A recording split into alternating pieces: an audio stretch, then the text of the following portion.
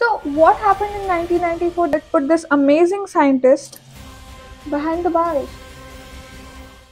In 1994, when India was climbing high on the ladder of space science, Nambi Narayan, an Indian scientist who was a lead in the ISRO space program, was put behind the bars for leaking information to countries like Pakistan and USA about India's secrets in rockets.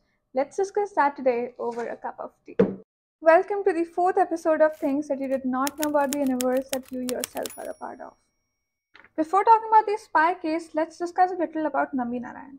So, Nambi Narayan completed his PhD from Princeton University and he turned down a job from NASA to work at ISRO. He even made those engines which still power GSLV and PSLV of India. So, what happened in 1994 that put this amazing scientist behind the bars. Nambi Narayan was arrested for espionage, which basically meant that he sold ISRO's information secretly to two Maldivian women. Who were these two Maldivian women? One was called Mariam Rashida. She came to India in 1992 and she was arrested by the police for overstaying. She came to India to get her uh, daughter's heart treated, but she overstayed and while in custody, she revealed the information about Nambi Narayan.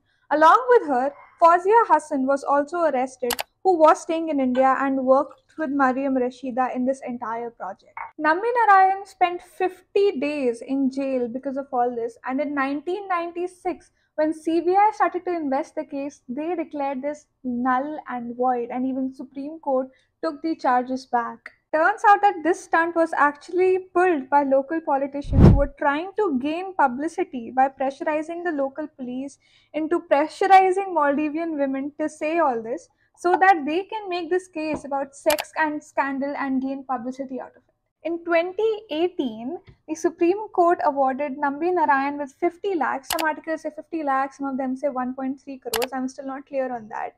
But Supreme Court awarded Nambi Narayan with the money for the mental health distortion that he went through in the 1994 period. And in 2019, he was even awarded with Padma Bhushan for his contributions to ISRO. Because some politicians wanted publicity, an excellent mind like Nambi Narayan's had to go through all this. You can also watch a movie in detail about Nambi Narayan, which came out in 2022.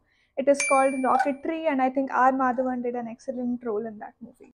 Our chai is made, and I think our episode for today is done. Please subscribe and like and follow because I'm reading on these things on a regular basis these days and bringing them to you, and there's no harm in learning new things about the universe that you yourself are a part of.